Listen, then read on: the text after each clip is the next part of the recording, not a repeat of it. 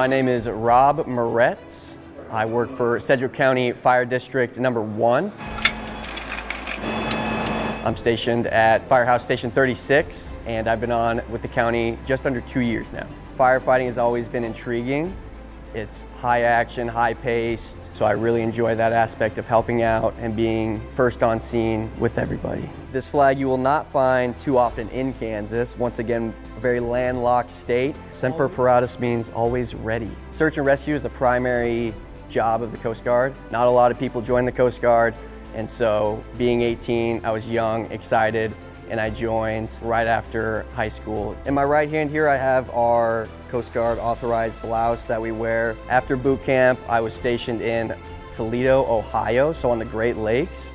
Not many people know that there's Coast Guard on the Great Lakes, but there is. We're very closely tied with the Navy, and so in acts of war, we will become a part of the Navy. I served for just over five and a half years. Being on the water was very unique and very fun, and being around just the greatest people and working with some of the best people was a blast.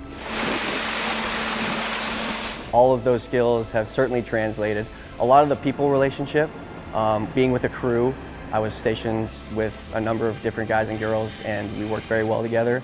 So similar to the firehouse, I'm on another crew doing maybe a little bit different fire tactics rather than water tactics. So being able to work well with your crew translates into the community and to the public and just shining a good light on your community.